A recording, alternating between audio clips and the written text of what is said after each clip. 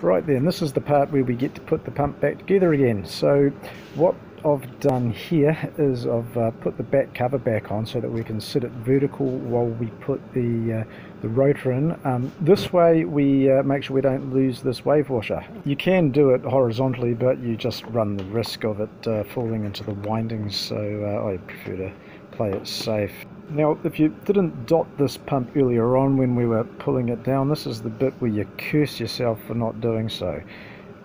So these pumps have a fan baffle, uh, internal fan baffle, where the, uh, the fan sits inside of, and it has holes in it where the through bolts go through. So this is why it's a good idea to mark it or dot it when you're pulling it apart because it'll cost you 10 or, or more minutes trying to, to line it all back up again.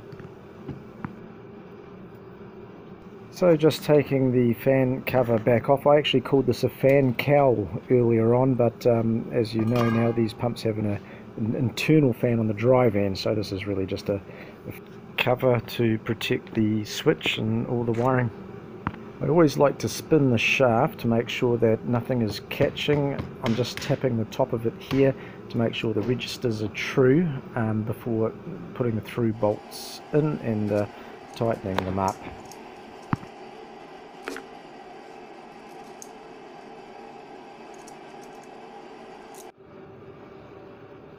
So there's a definite knack to this part of it. This is putting the centrifugal switch back on or the uh, rotary part of the centrifugal switch. Now I put the uh, put the screw in first and then screw it into the uh, the thread on the uh, non-drive-end shaft.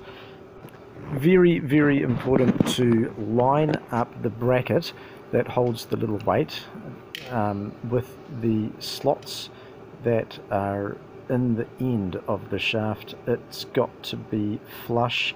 So if you look at it from the side you'll see that it's sitting properly. If it's not then uh, it's going to affect the stationary part of the switch. Because it won't be making even contact and uh, there'll be dead spots in the uh, switch. So as you can see this is me just putting the weight back into the uh, the bracket. Now the um, the square bit or the weight bit goes to the bottom uh, you have to tighten up because remember we um, uh, loosened this off a little bit earlier on. So just give it a little twig and make sure that, uh, that the weight is not going to come out of those holes again. The, um, the springs, now these, these are the springs, you'll, you'll notice that um, the, uh, the loop on one side and the hook on the other side are off center. Um, so the flat part goes parallel to the switch itself. If it goes the other way, then the spring itself will be hitting the plate, and um, I'm, I'm pretty sure you'll see what I mean if I have a little bit of a close-up in a second. So holding the spring with long nose pliers just on the very edge, so there's still enough room to get the spring over that tab.